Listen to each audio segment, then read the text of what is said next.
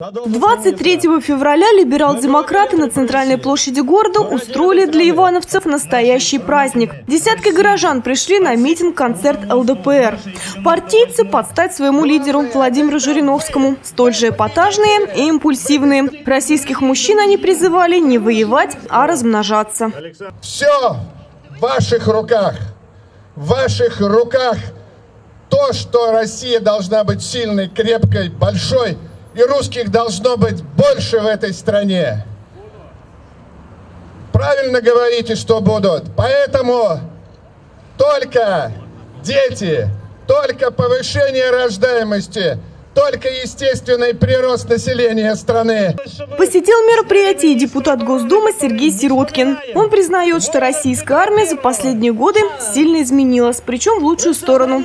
Однако последние коррупционные скандалы, связанные с Министерством обороны, показывают, не все, что полагается, идет на благо армии. Эти деньги, которые были украдены, должны были быть направлены на улучшение жизни солдат и офицеров, на закупку нового оружия.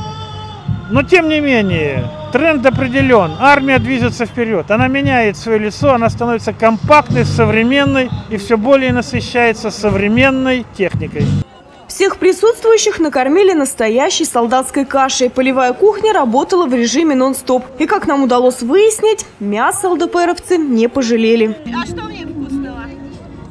Мясо вкусное? Нормально. Очень вкусное. Очень вкусно. Да, настоящее. Мне тоже каша нравится. Дома бы не заставили. А дома такое не готовят? Готовят, но мы там дома не устаем, а здесь уже устали и есть хочется. Для тех, кто посмелее, были организованы конкурсы. Так что голодным и грустным с праздника от ЛДПР не ушел никто. Елена Белова, Андрей Семиволков, РТВ Иванова.